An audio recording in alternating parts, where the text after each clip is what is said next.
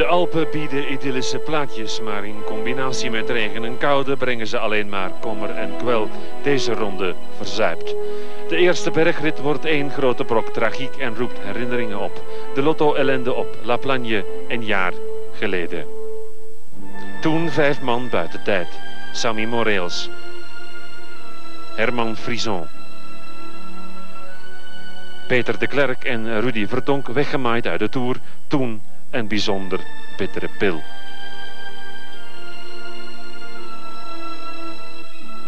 Nu het is een, uh, een slechte droom. En nu, ik heb uh, een andere ploeg. Uh, ik heb een, een, een ploeg gemotiveerd om te rijden naar, naar Parijs. De lotto's zijn vanochtend nog compleet. Vijf buitenlanders, vier Belgen van Ifte, Farazijn, Wouters en Matan. De vier zijn voorzichtig optimistisch, maar rekenen wel met minuten. 44 minuten. En dat is net genoeg? Ja, ik denk dat het 45 of 46 minuten is.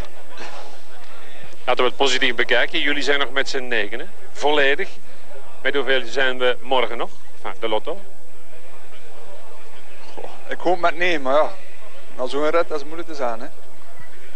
Uh, Probeer eens. Oh, acht. wie, wie, wie ben je kwijt dan? Dat weet ik niet. ik weet het niet. Misschien mezelf. Ook de andere Belgen zijn realistisch. De goede bus zoeken en de natte ellende niet te veel aan het kopje laten vreten. Gisteren heb ik uh, gezongen als het geweldig begon te, te regenen. Dus... Uh...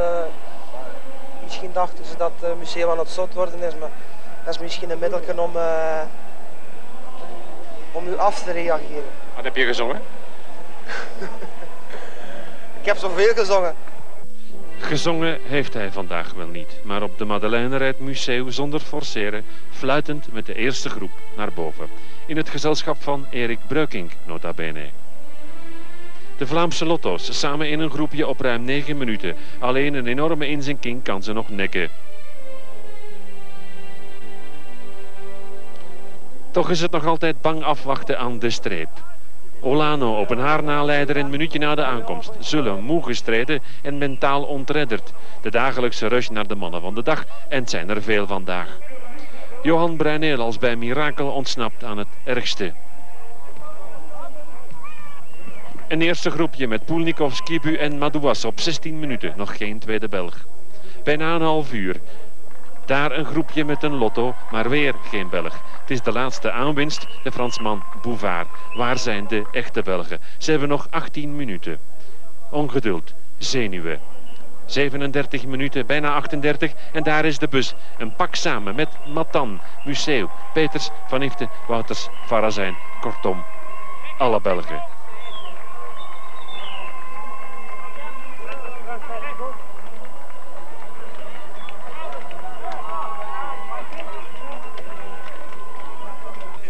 Even kijken, 38 minuten, 10 minuten op overschot. Dat zit goed, hè? Ja, maar ik heb toch ongelooflijk afgezien vandaag. Op de, op die voorlaatste seconde, de Corneille de Rooslaan genoemd, was ik hier gelost van de groep alleen. Heb ik, uh, en ik heb kunnen terugkomen, eerst aan de voet hier van de laatste beklimming. Maar ja, dan zijn nu maar niet meer los. Hè. we zijn nog kunnen terugkomen juist op de voet van de tweede call bij een groot peloton. En dan was het, uh, ja, tot het einde op het gemak rijden in feite. Op het gemak toch? Ja, op het gemak ja. We hadden tijd genoeg over, hè, dus... Uh... Onderweg ook nog kunnen praten? Ja, niet zoveel in feite. Nee? Het waren er wel veel bij die praten. Ja, lijkt me zeven en allemaal die man zat op hun gemak. Hè. Uitgeput? Uh, uitgeput niet, maar toch veel afgezien. Uh, want uh, de groepette gaat ook heel snel. En als je dan weet dat de eerste nog 37 minuten sneller rijden, dat is, dat is ongelooflijk. Jullie hebben het altijd over groepetto, dat is een nieuw woord zeker? Groepetto, dat bestaat al 20 jaar of 30 jaar. dat is dus? Ja, en uh, de bus. De bus. Het was een enorm snelle start.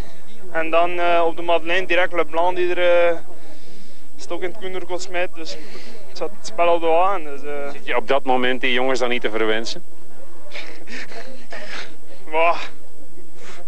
Uh, ze zullen ook wel een keer stilvallen, hè, natuurlijk. Maar dat is het spookbeeld hè, voor de mannen die het moeilijker hebben achteraan, van dat ze toch maar niet te snel beginnen. Ja, maar kom, eh, het is gepasseerd, het is vergeten. Hè. Onze ploegleider Manolo Sais geeft nog een laatste interview weg. Hij zal wel niet gezien hebben dat zijn Inigo Cuesta buiten tijd binnenkomt. De eerste bergrit zit erop. De rit naar Les Arcs zou wel eens het label historisch kunnen meekrijgen.